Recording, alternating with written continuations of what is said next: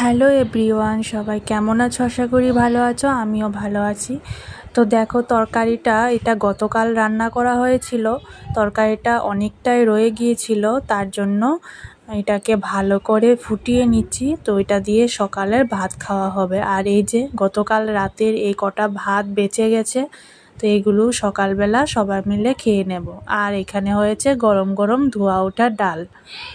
তো এই তো এখন আমরা এগুলো দিয়ে ভাতটা খাব।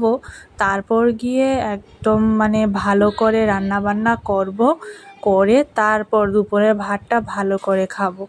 দেখো, এখানে দেশি মুরগির মাংস এনেছে অনেক দিন পর।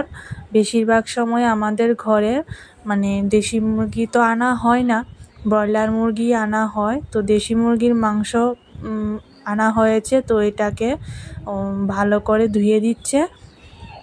তো এটা ধুয়ে তারপর গিয়ে রান্নাটা বসাবার অনেকটাই বেলা হয়ে গেছে। তো তার মধ্যে আমাদের সকালের ভাত খাওয়া কিন্তু অলরেডি হয়েই গেছে। তো এবার মাংসটাই শুধু রান্না করব। তো যাই হোক, দেখো এখানে ধোয়া হচ্ছে, তো আমি এখানে একটু ভিডিও ক্লিপ নিয়ে নিলাম। আর এত জলের সমস্যা, জলই উঠছিল না। তো আমি এখানে দাঁড়িয়ে দাঁড়িয়ে মগ দিয়ে জল দিচ্ছিলাম আর ও ধুচ্ছিল। তো ব্যাস, ধোয়া কমপ্লিট। আর আমার পেঁয়াজ, রসুন, আদা, আলু, মরিচ যা যা লাগে সব কিছু কাটা কমপ্লিট। কেটে কুটে একদম সব ভালো করে মাংসর সাথে ম্যারিনেট করে কিছুক্ষণ রাখব। তো আগে আমি ভালো করে মেখে নিচ্ছি। তো মাখতে মাখতে যখন কালারটা একটু চেঞ্জ হয়ে যাবে, তখন আমি এটাকে মানে রান্নাটা বসাবো।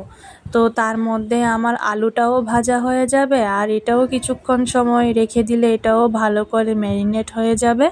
চলো, আমি এবার আলুটা ভেজে নেব। আর দেখো, কালারটাও কিন্তু প্রায় চেঞ্জ হয়ে এসেছে।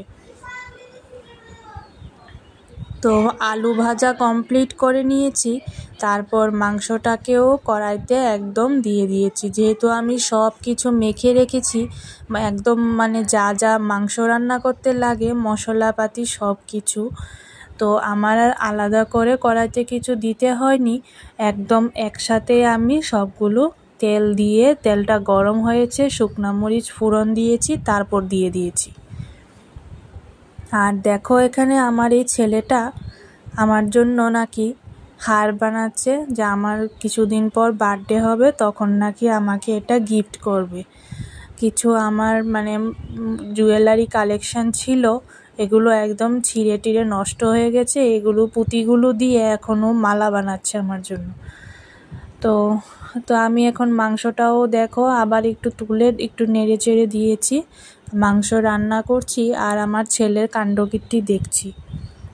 তো মাংস কিন্তু আমার অলরেডি রান্না কমপ্লিট আর ওয়েদারটা না হঠাৎ করে একটু চেঞ্জ হয়ে গেছে, অন্ধকার অন্ধকার হয়ে গেছে, যেমন বৃষ্টি এক্ষুনি নেমে আসবে, কিন্তু আমি তো পরদিন এডিট করছি, বৃষ্টি কিন্তু হয়নি বাট এমন একটা ভাব ধরেছিল যেমন এক্ষুনি নামবে। তো এটা হয়েছে পরদিন সকালে, একটা বাটিতে জল নিয়ে আমি কিছুটা মুড়ি নিয়ে ধুয়ে তারপর দ্বীপকে মুড়ি মাখা করে দেব খেতে।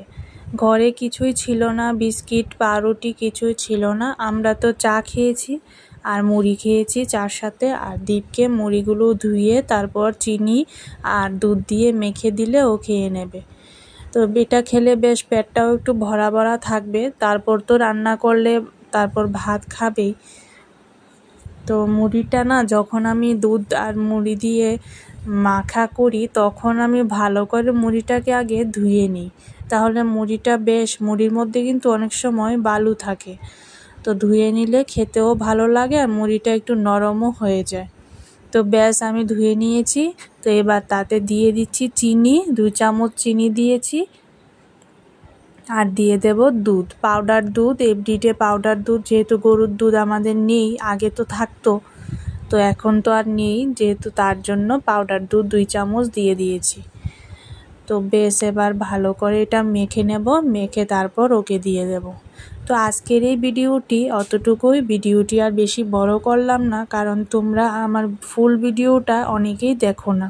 স্কিপ করে করে দেখে যাও, তার জন্য আমি ভাবছি কি এখন থেকে ছোট ছোটই দেব। ভিডিওটি ভালো লাগলে লাইক কমেন্ট শেয়ার করে দিও।